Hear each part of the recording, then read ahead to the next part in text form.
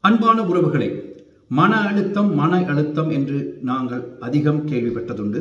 இந்த மன அழுத்தம் வருவதற்கான காரணங்களை அறிந்து கொள்வோம்.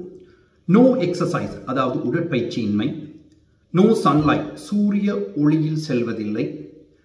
ஜங்க் ஃபுட்டுகளை அளவுக்கு அதிகமாக உண்ணுதல். மன அமைதி கெடும் எல்லா வேலையும் செய்தல். எல்லாவற்றையும் தள்ளி போடுதல். சரியான நேரத்தில் நித்திரை கொள்ளாமை. ஒரு நோக்கம் இல்லாத வாழ்க்கையை நோக்கிய ஓடிய பயணம். சமூக ஊடகங்களில் அதாவது சோசியல் மீடியாவில் அதிக நேரத்தை நாங்கள் செலவிடுதல் நேரத்தை ஒழுங்காக பயன்படுத்தாமை என்னை நான் நேசிக்காமல் பிறரை போல வாழ நான் ஓடிக்கொண்டே இருப்பது இவைதான் இந்த ஸ்ட்ரெஸ் வருவதற்கான காரணங்கள். இந்த வீடியோ பிடிச்சிருந்தால் லைக் செய்து ஷேர் செய்யுங்கள். இன்னொரு வீடியோவில் உங்களை சந்திக்கலாம். நன்றி.